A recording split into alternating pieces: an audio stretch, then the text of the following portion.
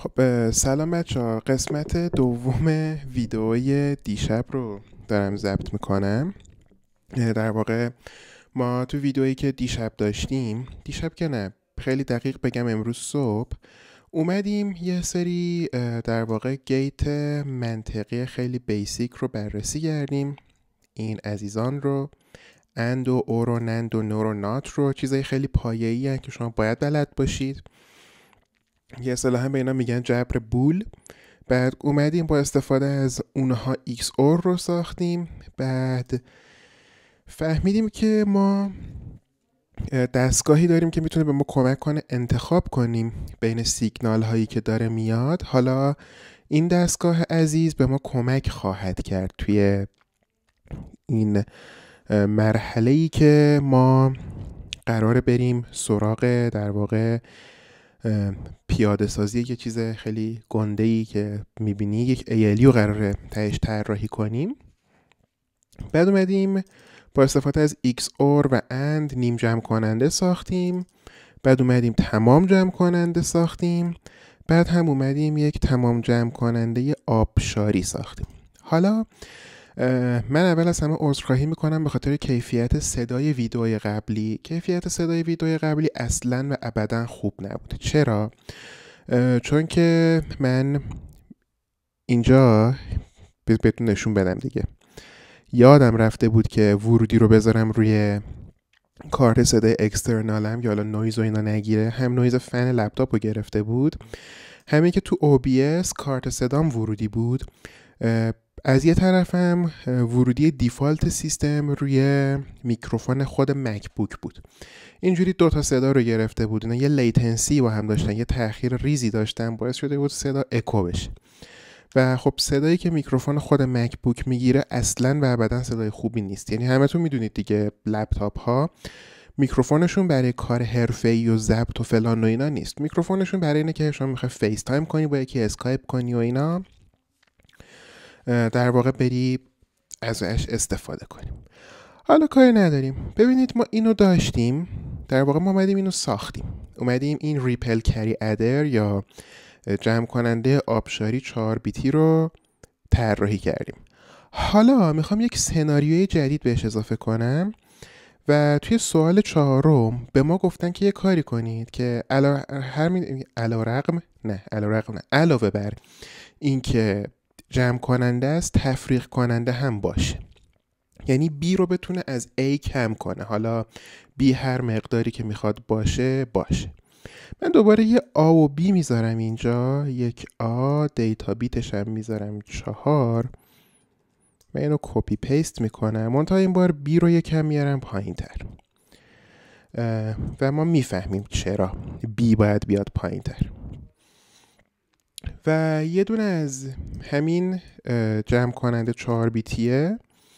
خب بیایم اینجا. ببینید آ رو من مستقیم وصل می‌کنم به این بزرگوار. حالا خروجیش هم بذاریم باشه دیگه. خروجیش هم اینجا اسمش رو می‌ذاریم. همون سام. یا همون در واقع حاصل جمع. آن اینم باید چهار بیتی باشه. و حالا برای B می‌خوایم چی کار کنیم؟ ببینید ما یه سناریویی داریم. بهش میگن two's complement یا مکمل دو. یعنی چی؟ یعنی ما میایم توی یک عددی هرچی بیتی که یک صفر و هرچی بیتی که صفر یک می‌کنیم و بعد از این چه اتفاقی میفته بعد از این ما یک واحد بهش اضافه می‌کنیم.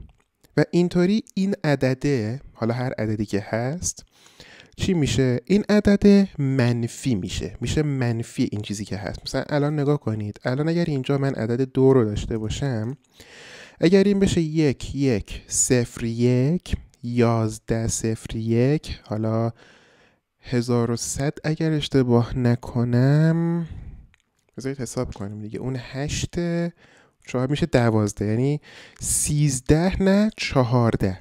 یک یازده ده. یک یک یک صفر. این میشه منفی دو توی فضای علامت دار. ما کلا دو تا فضا رو توی کامپیوتر خیلی بهش اهمیت میدیم. یه فضا بدون علامت یه فضا علامت داره. خب سناریوی اول اینه که بسیار هم عالی. ما چطور می‌تونیم در واقع منفی کنیم این عدد رو. خب بیایم اینجا در نظر بگیریم. ما یک رقم نقلی ورودی هم در هر عدری داریم. این رقم نقلی ورودیه حالا توی خود کامپیوتر اینجوریه که یه سری اد پشت هم انجام میده. این رو معمولا میفرسته توی یک واحد حافظه خاصی. من نمی‌خوام در مورد اون صحبت کنم. چون اصلا میشه فلگ رجیستر و ما میلیون ها اوبیه سفر رو داره می‌گیره آره. ترسیدم چند بار بلا سرم اومده.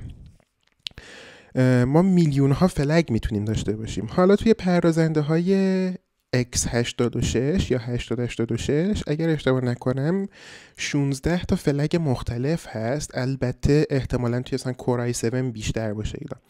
یه فلگ برای صفر یه فلگ برای عملیات مقایسه یه فلگ برای همین رقم های نقلیه یه فلگ برای اینه که علامت دار باشه یا نباشه و حالا اینا رو توی اسمبلی نوشتن می‌تونیم به عبارتی ست کنیم صفر رو یکش کنیم. این سین رو من اینجا دارم. یه دونه دیگه هم می‌خوام. اینم می‌ذارم اینجا. اینو بعدا اسمش رو یاد می‌گیریم. خب الان من بخوام همه در واقع این بیت های این رو یک کنم چی کار می‌کنم؟ یه نات چهار بیتی می‌ذارم جلوش دیگه. اون طرفم خروجیش خب همونجور که می‌دونید یک میشه. حالا خروجی اینجا نمی‌ذارم. اما این به تنهایی کافی نیست. من خود بی رو هم می‌خوام. میام چی کار می‌کنم؟ میام اینو میارم پایین. اینو میارم پایین و اینجوری متصلش می‌کنم به این. حالا کاری که من می‌کنم اینه میام از توی منوی پلکسرز یه مالتی پلکسر ساده میارم که دیتا بیتسش چهار بیتیه و این رو می‌ذارم سر راه این بزرگوار. میگم که خب یکیش بی نات باشه یکیش هم خود بی و بعد ارزم به حضورتون که اینو میدم به بی سلکتش چیه؟ سلکتش اینه. این هم اسمشو چی می‌ذارم؟ اسم اینو می‌ذارم بی نیگیت نیگیت به معنی اینه که این داره در واقع این بزرگوار رو منفی می‌کنه. حالا اون مسئله نات کردن حل شد دیگه. ببینید خیلی ساده است. من هر موقع اینو چیز کنم می‌بینید که این طرف داره ناتهاش رو میده بیرون. مسئله اینه. مسئله دیگر چیه؟ مسئله دیگر اینه که اون به اضافه یک هم مهمه. اون به اضافه یک چطور پیش میاد؟ اون به اضافه یک رو ما با رقم نقلی می‌تونیم. با رقم نقلی ورودی می‌تونیم اوکی کنیم. میام یه گیت اور می‌ذارم اینجا. میگم خب ما توی همه محاسبات قرار نیست بیمون منفی بشه. ما فضای بدون علامت هم داریم. آنسایند هم داریم که خب کری داره. همه محاسبات در واقع اون حالت کری رو دارن. من میام این یک بیت رو میدم به این. اینم یکم می‌کشم عقبتر. زیر این هم اینو می‌ذارم و اینجا هم داریم سی اوت این الان چی شد؟ این الان شد یک مدار ادر اسلش سابترکتور یعنی این هم برای ما جمع می‌کنه. هم با یک سیگنالی از بیرون این می‌تونه در واقع تفریق انجام بده. ببینید من الان دارم چهار و دو. خب چهار و دو در فضای بدون علامت یا فرض کنیم علامت داریم.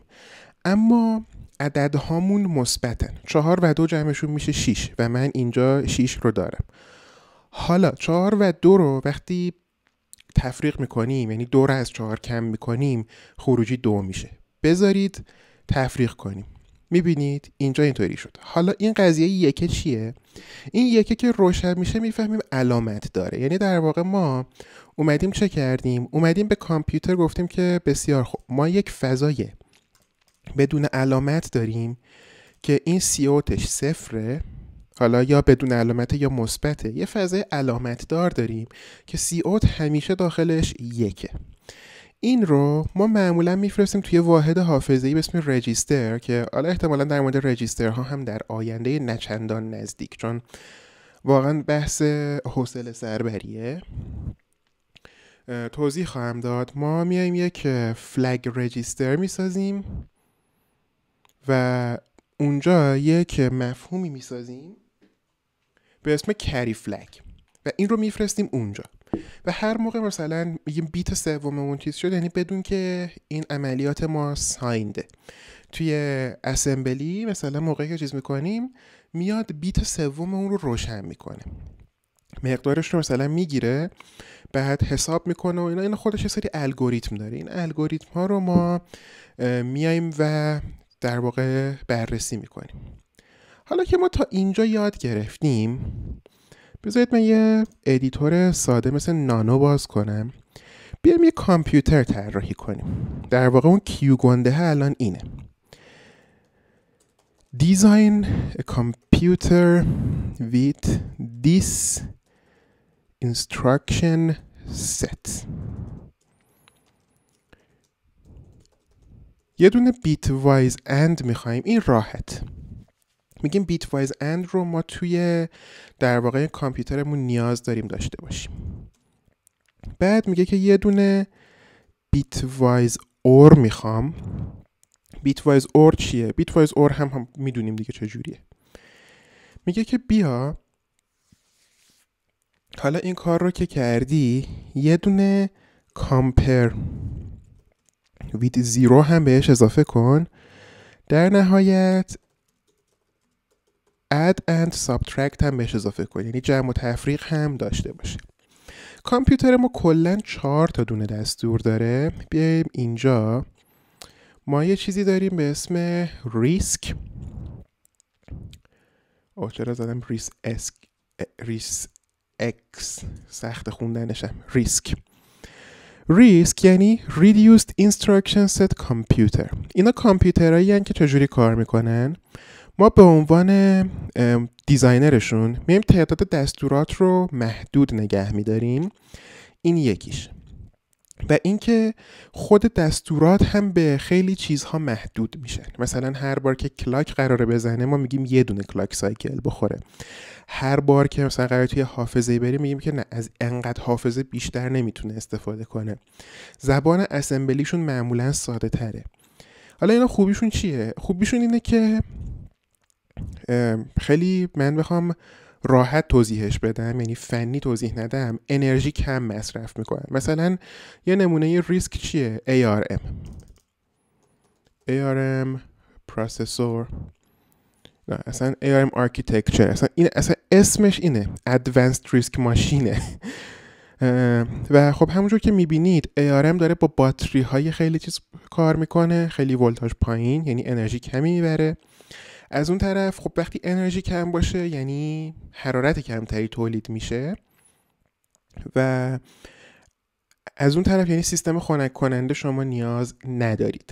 و از یک طرفی هم ما می‌تونیم اینها رو بیایم application specific کنیم. یه تعریفی داریم که احتمالا minerها باهاش آشنا. بهش میگن ASIC البته ASIC در واقع میشه application specific آره اینا integrated circuit یا آیسی خاص منظوره که مثلا یه چیزی می‌سازی فقط برای ماین کردن بیت کوین. خب این انقدری دستور نمی‌خواد. یه چیزی می‌سازی برای روشن کردن چهار تا LED این واقعا خیلی پیچیده نیست ساختارش. حالا در موردش صحبت خواهیم کرد. مقابل ریسک یه چیزی قرار می‌گیره. به اسم سیسک یا Complex Instruction Set Computer. این چجوریه؟ این اینجوریه که designerش میاد به ازای هر عملیاتی که در دنیا هست یک instructionی براش می‌سازه. هزینه instruction ها یکی نیست برخلاف RISC که هزینه instruction هاش یکیه همه با هم یعنی جمع با and یکیه. جمع با XOR یکیه مقایسه با and یکیه اینجوری. ولی توی CISC اینجوری نیست. مثلا توی CISC ممکنه یه جمعی جمع floating point داشته باشیم. این جمع floating point بشه مثلا 16 تا clock cycle از اون طرف توی در واقع مثلا and منطقیش باشه دو تا clock cycle خب این خیلی منطقی نیست. و یکی از دلایلی که اصلا میان CPU رو چند هسته ای می‌سازن همینه که یکی داره بیشتر زمان می‌بره برای عملیاتی. مثلا همین الان بیام خیلی ساده بهش نگاه کنیم. من یه چیزی دارم اینجا بریم توی چیز دیگه. چی بود؟ من یه چیزی داشتم برای NCPU توی مک یادم رفته. یا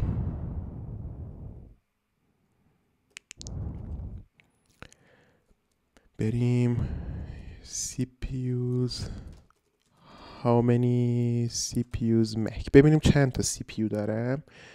البته می‌دونم یه number of processors داریم. ولی تو ترمینال می‌شد اینو دید. دنبال اون دستورم تو superuser.com هست نتیجهش که چجوری داره کار می‌کنه.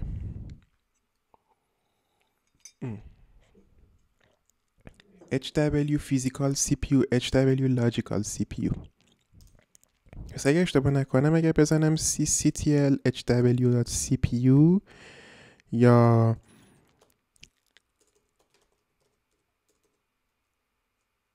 physical CPU. 6 تا CPU physical دارم و 6 تا thread یعنی من الان 12 هسته دارم. خیلی منطقی نگاه کنی مثلا الان توی threadی Firefox رو انداخته توی threadی مثلا ایمیل ها رو انداخته توی threadی تلگرام رو انداخته توی threadی App Store رو انداخته. و اینجوریه چون اینا زمانهای یکسانی نمی‌برن روی چیزی مثل کورای 7 حالا اینو ببینیم. گفتیم که اینها یه کامپر ویت زیرو که از یه در واقع گیت جدیدی استفاده می‌کنیم براش. کامپر ویت زیرو. که این هم خودش مثلا می‌تونه یه فلگی رو بیاد. در واقع صفر رو یک کنه. اما این چون یکم چیزه پیچیده میشه توضیحش. میام میگم که نه یه bitwise XNOR می‌خوام داشته باشه و add و subtract چهار تا دستور می‌خوام و می‌خوام اینا رو بچینم کنارم بیام توی این اصل کاریه. خب بریم تعداد دستورات رو ببینیم که چی هست گفته یه دونه and bitwise به من بده. ما میگیم چشم. ما چهار بیت and داریم. میگه یه or bitwise می‌خوام.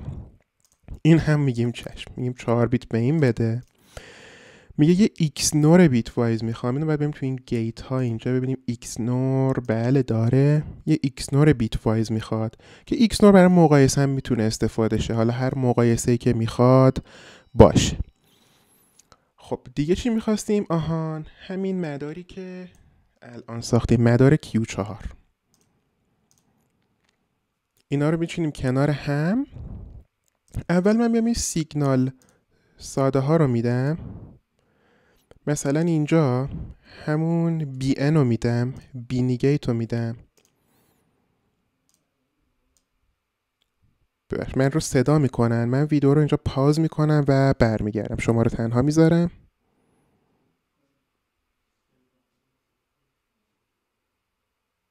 البته پازم نمیشه کرد دیگه وقتی گذاشتم رو فرمت MP4 استاپش باید بکنم. حالا میچسبونمش به هم. یکم باید برم تو فاینال کات. خب من مجبور شدم اینو تو دو پارت کنم. صدام کردن و حالا نمی‌دونم چرا OBS روی فرمت MP4 نمی‌ذاره پاوز کنیم ویدیو رو. ایرادی هم نداره میچسبونمشون به هم. داشتیم می‌گفتیم که اینجا ما بینیگه تو می‌ذاریم و این رقم نقلی ورودیمونو. اینا رو می‌ذاریم. خب بسیار هم عالی. الان من دو تا ورودی می‌ذارم. اینجا بذارید اینم چهار بیتیش کنم و بیارم اینجا. دیگه می‌دونیم چجوریه دیگه اینا. اسم اینو می‌ذارم آ.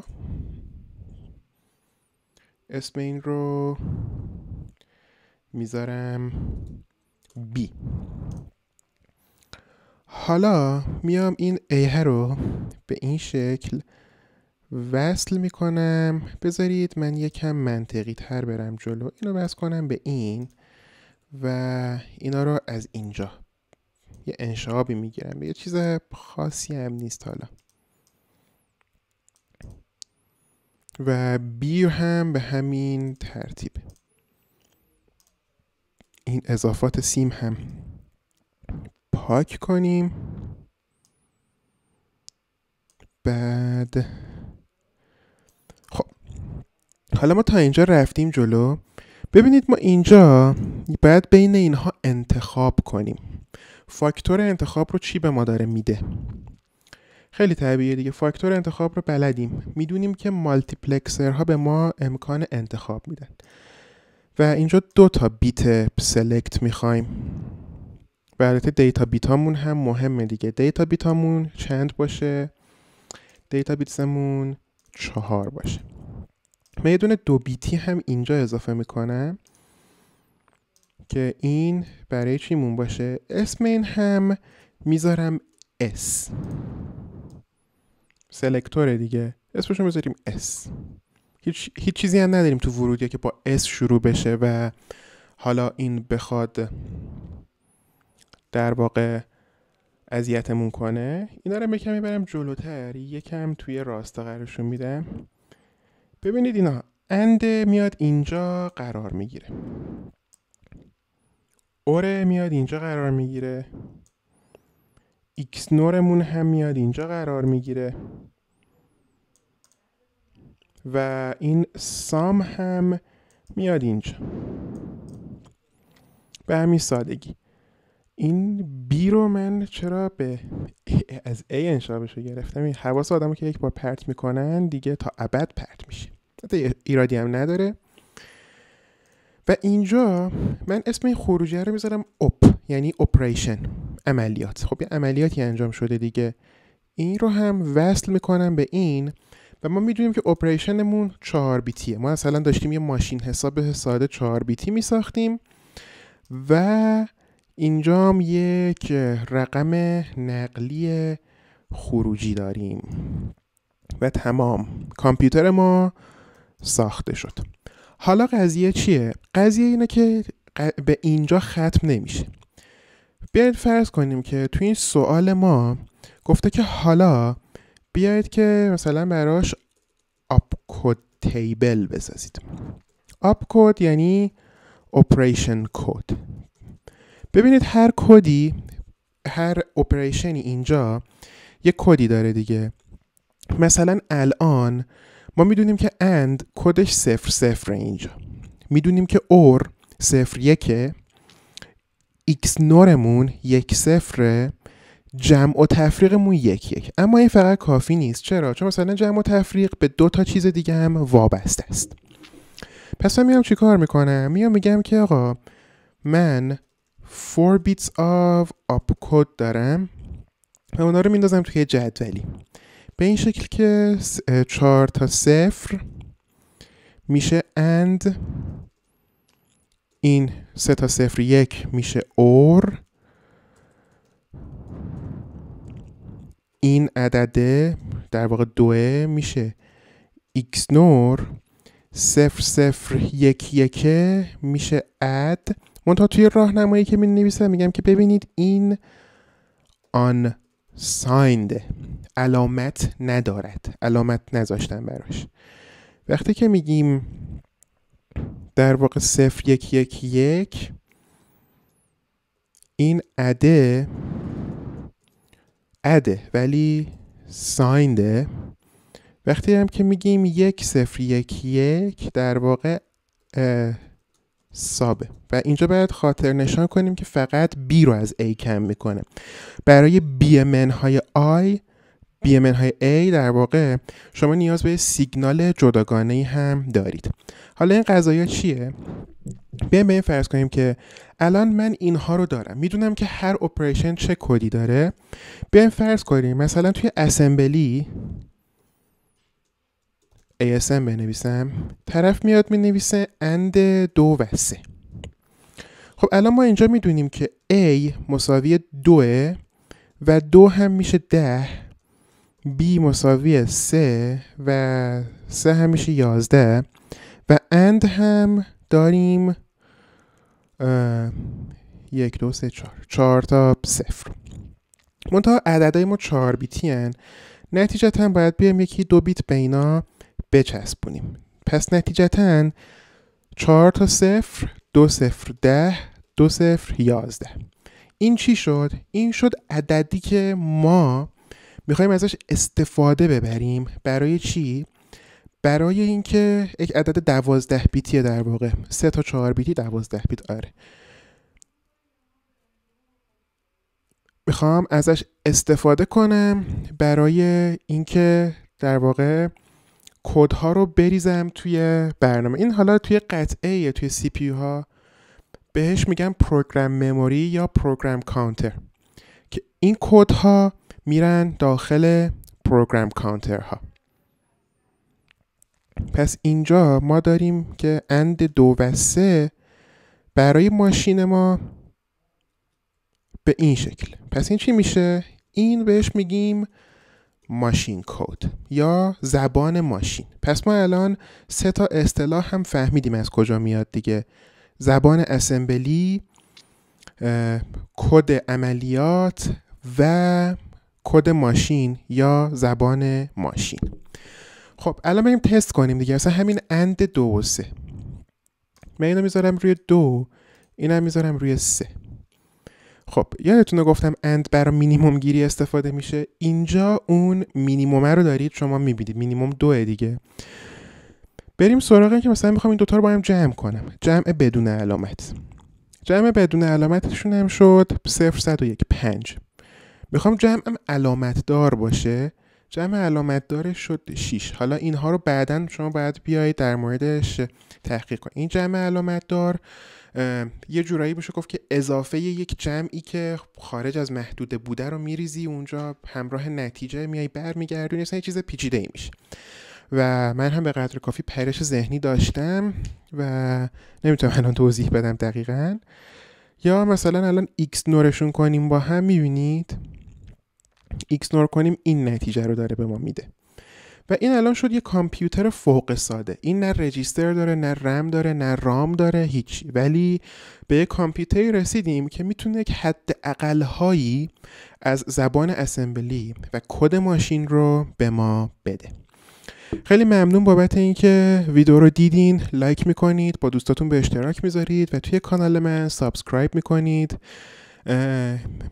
قسمت دوم بود در واقع که در قالب سه ویدیو ساخته شد. حالا بعد بچسبونم به هم و بعد آپلود کنم. خیلی ممنون بابت وقتی که گذاشتید. تا ویدیوهای بعدی خدا حافظ.